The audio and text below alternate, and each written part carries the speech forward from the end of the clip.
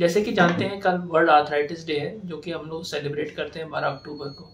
Arthritis जो है आप जानते हैं आर्थराइटिस दो शब्दों से बल के बना है। जोड़ और आइटिस मतलब इन्फ्लेमेशन तो जोड़ों का इन्फ्लेमेशन मतलब जोड़ों में दर्द सूजन को आर्थराइटिस बोलते हैं आम भाषा में। तो आर्थराइटिस जो है, हम लोग जैसे जानते हैं, पाँच, चार, पाँच तरीके की होती हैं, जिसमें से मोस्टली हम लोग देखते हैं जो एज रिलेटेड होती है, जो ऑस्ट्रो आर्थराइटिस दूसरा एक गटिया बाई जिसको हम रोमेटॉइड आर्थराइटिस बोलते हैं। तीसरा होता है गाउटी आर्थराइटिस जो लोग यूरिक एसिड जब जोड़ों में इकट्ठा हो जाता है, या जो लोग बहुत नॉनवेज खाते हैं, वो गाउटी आर्थराइटिस होता है। तो ये एक लोगों में भ्रम रहता है जनरली आर्थराइटिस में कि सब आर्थराइटिस का इलाज सर्जरी है। बट आप ये देखेंगे मोस्टली जो जितने भी आर्थराइटिस हैं, अगर हम उनको प्रिवेंट कर सकते हैं तो मोस्टली इलाज जो है दवाइयों से और एक्सरसाइज से काफ़ी ठीक हो सकती है आर्थराइटिस और अगर एडवांस स्टेज में आर्थराइटिस हमें आती है, तब only we need that surgery हम लोग उसके करें ताकि उसका पेन को कम कर सकें।